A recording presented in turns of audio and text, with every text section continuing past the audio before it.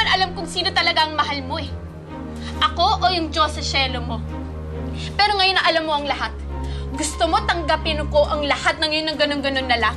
Hindi totoo na sarili ko lang ang iniisip ko. Dahil kaya ako nagkakaganito. Dahil lahat kayo, pinagmamalasakitan ko. Kahit na alam ko na ang kapalit ko ng sarili kong katahimikan at kaligayahan.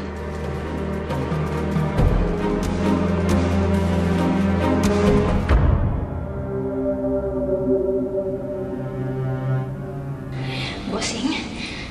Bossing! Ano namang kailangan mo? Muntik mo na akong patayin sa ginawa mo kagabi.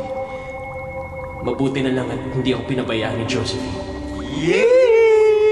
Hoy! Magsitigil nga kayo! Ha?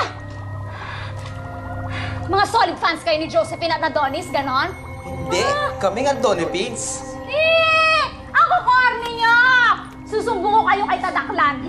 Lagot kayo, magiging tutong na lang kayo. Well, going back, bossing, please, stop it. Alam mo namang ikamamatay mo ang mahalin ng takda. Oo nga.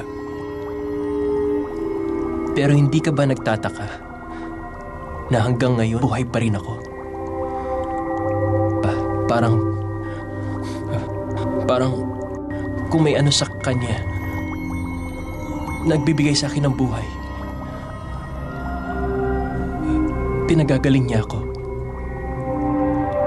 Eh paano? Umaasa ka na mamahalin ka rin niya. Hindi ba? Hoping ka? Hindi naman masamang umasa na mahalin ka ng taong mahal mo, hindi ba? Doon nga tayo magkakandaleche-leche bossing eh. Eh paano kung mabasted ka? Naku sigurado doon ka matitigok. Well, yun kung hindi ka maunahan ng tatay mo o ni Diana. Pala. Alam mo bang join forces na sila, bossing? Kaya dapat lalo kang maghanda. Puro ka handa-handa. Hindi ko naman birthday. Bakit ako maghahanda? Eh, ako, ani. Bossing ah, hmm, nagpapatawa ka na. May sense of humor. In love ka nga, I think. Bahala na sila kung gusto nila magsama. Isa lang ang inaalala ko. Ano na kaya nangyari kay Diana? Sabik na ako malaman kung anong ginawa niya para mabawi si Adonis at kunin ang takda. Manda ka sa akin, Adonis. Kahit anak kita. Pagturo sa mo ang pagkatraitor mo sa ating angkan.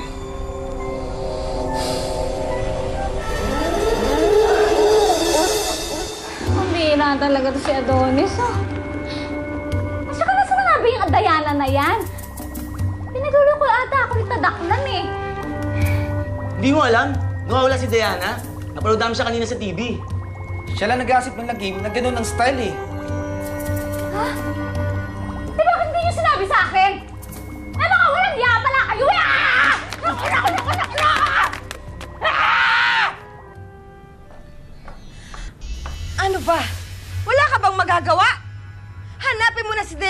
Ito na nga eh. Ipilit ko na nga siyang malukit pero wala eh. Hindi ko makita. Kasalanan din naman yung anak ko eh. May katigasan din ang ulo. Oo na, oo na, alam ko na yan. Huwag mo na akong sermonan. Ang kailangan kong malaman kung nasa na ang anak ko. Baka mamaya kung... Baka... Baka patay na. Huwag na huwag mong sasabihin yan. Hindi! Hindi patay ang anak ko. Nararamdaman ko, buhay siya. Buhay ang anak ko, hindi patay.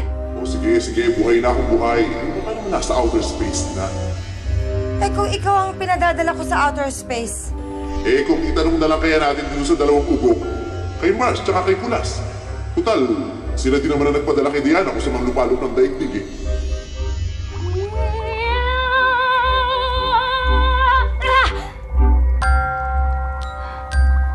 Um, Panginoon? Yuhu!